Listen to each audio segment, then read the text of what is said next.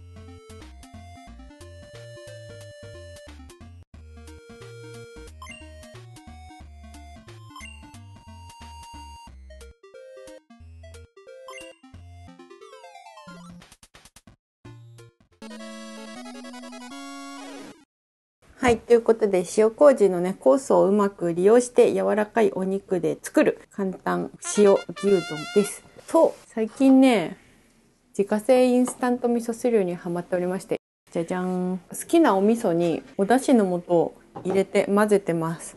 麦茶の袋みたいなのに入ってるだしパックをそのままビリって破いて入れたりもしてるんですけどこれをもう直接入れてお味噌と混ぜて基本の味噌ベースが完成であとはお湯を注いでという感じなんですが具材をね混ぜちゃう味噌玉もあると思うんですけどこの味噌とだしだけだと味噌の塩分が割としっかりあるので超腐りにくいんですよ。こんな感じでねやっとくといつでもフレッシュなお味噌汁が飲めます。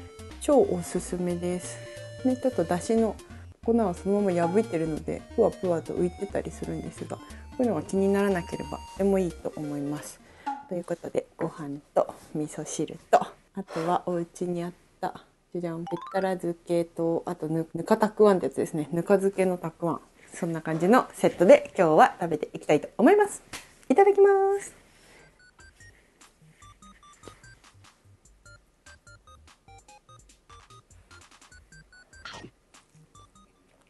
うん柔らかい。うん、とっても柔らかい。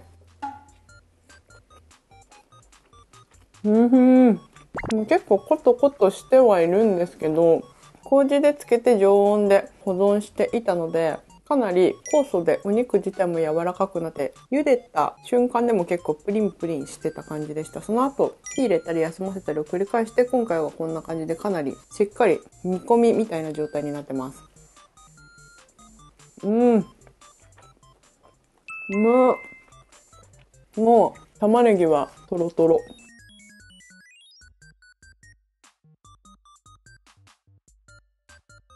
今回下味をつける意味もあって塩麹と玉ねぎと牛肉混ぜて置いてたと思うんですけど単純に生肉の状態でお肉保存するよりも塩麹につけてる方が日持ちします。なのですぐにね新鮮なお肉のうちに塩麹でつけるとあの下味がついてるのでいろんなお料理に使い回せてめちゃめちゃ便利です。うん。大体お肉の重量の1割ぐらいの量でつけてあげるとベストな下味具合になると思います。うん。うんふん。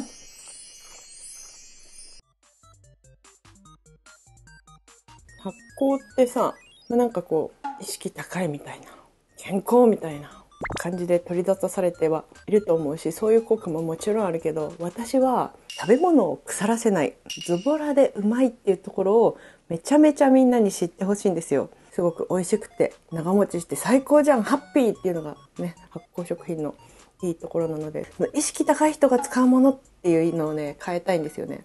雑になんだかうまい飯を作りたい人こそ塩麹を使ってください甘酒を使ってくださいっていうのをねめちゃくちゃみんなに伝えたくてちょっとだけ仕込みを頑張るもよしもうそれすらめんどくさいよっていう方は売ってるやつも全然あるのでそれを買ってくださいみたいなそんな感じでね発酵ライフを一緒に楽しめたらなと思っていますなので今日の牛丼の素も漬け込んで冷凍で OK です冷凍保存できちゃいます。下味の段階でみりんとかお酒を入れないのはなんでだろうって思った方いると思うんですけど、みりんとお酒ってアルコールが入ってて、アルコールって一応その酵素の働きをちょっと抑える作用があるので、お肉柔らかくしたいなとかっていう時は私はあえて後に入れるようにしています。酵素の力を引き出したい時には割とアルコールをね、入れるのを順番を後にするっていうのをやってます。うん。まあでも全然働かなくなることはないので、全部いっぺんにもう入れといて、茹でたら味が決まるようにしたいぞっていう方は、全然あの一緒に入れてパッキングしてもらって冷凍されても OK です。うん。美味しい。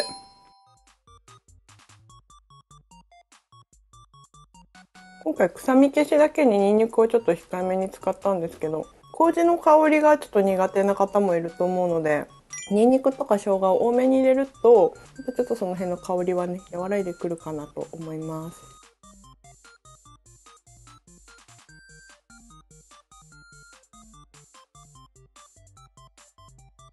おいしい。あ味噌汁も美味しい。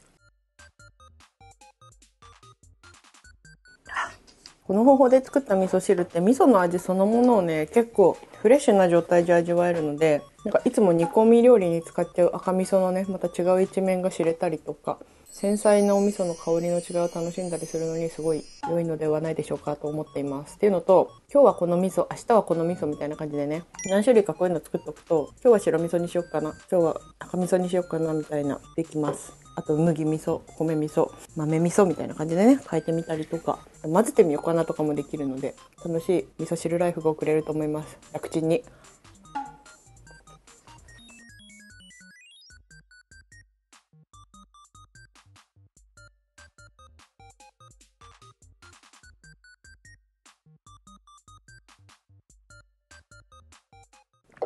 ああ、ちょっと薄かったから味噌多めにしよう。意外と入ってんだよね。まあね、具とか入れたりしてね。これは長岡に行った時に味噌バーであったのですぐさま真似しようと決めたわかめと切り干し大根です。これだとほんとお湯さえ沸かしてあればさ誰でも熱々の味噌汁が飲めるじゃないですか。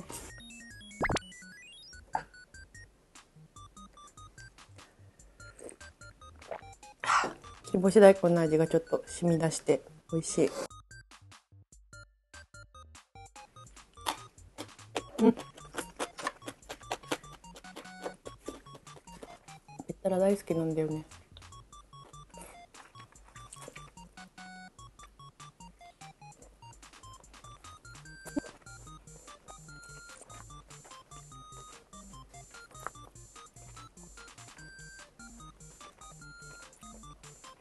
今回結構長時間煮込んだバージョンなんですけど玉ねぎもしゃっきりお肉もクリーンな15分とかお肉に火入ったら OK みたいなパターンもね美味しいと思います。うん。今日は本当煮込みって感じになってるので例えばもうちょっと塩気を強くしてお塩とか足してねお豆腐入れて肉豆腐みたいにしてやっても美味しいと思う。うん。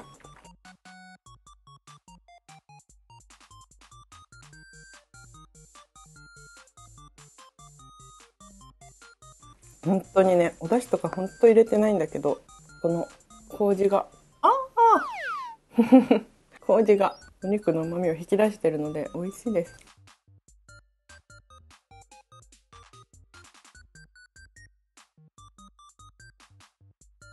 塩麹がねお肉を分解する時にアミノ酸に変変えてくれるのでタンパク質を。それで旨味が出たりとかでんぷん質をねブドウ糖に分解してくれるので玉ねぎの甘みが出たりとかもします。柔らかい。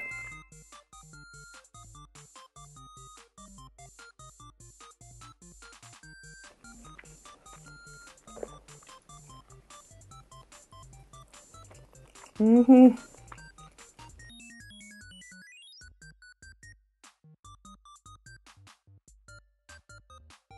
今日のレシピは本当にすごいシンプルで手順とかも単純だけどこれからまたねいろいろと前にやった親子丼とかもねレシピバージョンアップしていけたらいいなと思っているので新しいレシピが出るのもね楽しみにしといてもらえたらなと思います。うん。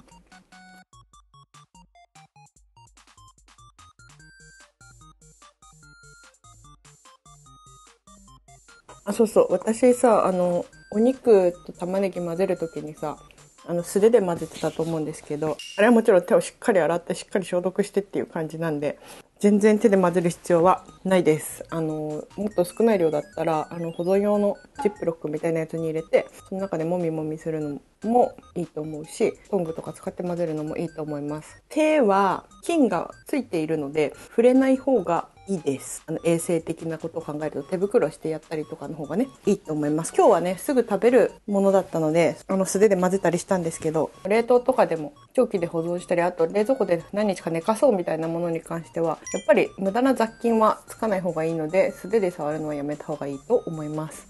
あの衛生面はしっかりと気をつけながら作っていってほしいなと思います。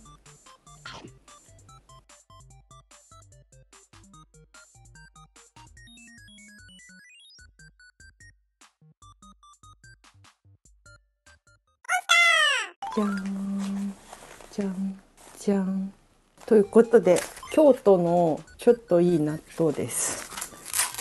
1パック180円くらいします。そしてマジで納豆のこのあれは自己責任なんだと思うんですけど私はね賞味期限過ぎたやつがすごい好きなんですよ。冷蔵庫で保存しておりました。これ小粒って書いてあったけどまあまあしっかり。わいい匂い。これ小粒納豆。あからし忘れた。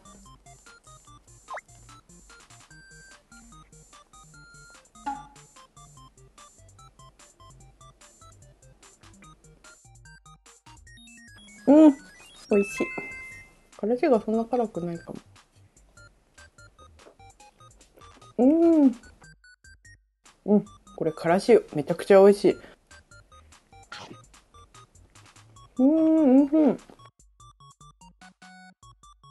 結構冷蔵庫でエイジングさせたんですけどまだまだフレッシュ感が あります。うんうん私も発酵してちょっとシャリ感があるぐらいの納豆めっちゃ好きであの豆がね納豆菌に分解されまくってアミノ酸が結晶化してシャリシャリするんですけど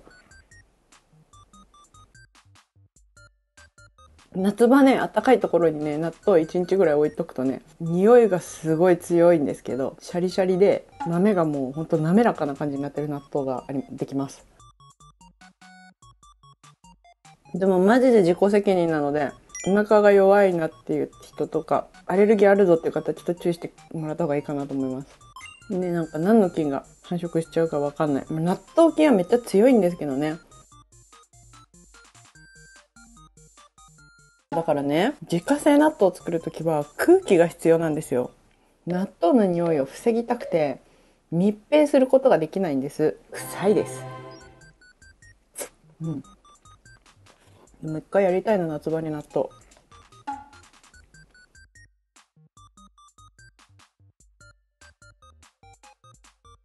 次はこちら赤大豆おお美味しそう何これでかっえめっちゃ美味しそう。見て。私の手がこれぐらいなんでパックめっちゃでかいんですけど。それでも際立つ。つぶつぶ感。この人が一番賞味期限が切れています。まあ5月なんですけど4月の半ば頃に切れています。うわ美味しそう。ちょっと青大豆ものせてみようかな。青大豆。じゃじゃん。わ、贅沢やな。いただきます。青大豆。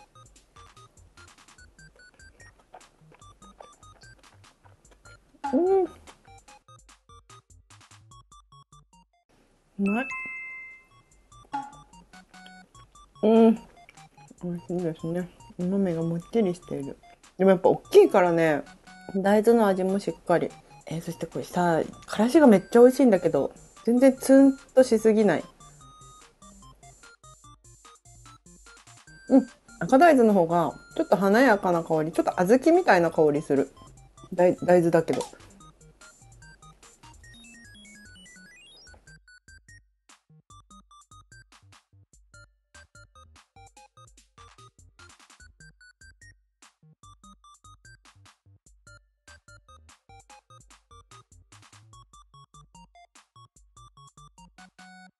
発酵食品とはみんなが楽しくお付き合いしてくれたらいいな食べ残しがなく食べ物が上手に保存されていったらいいなと思っています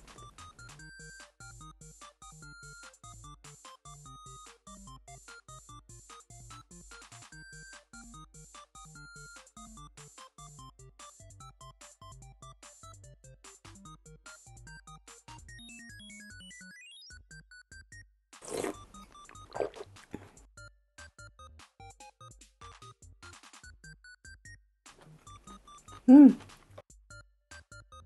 完食しました。ごちそうさまでした。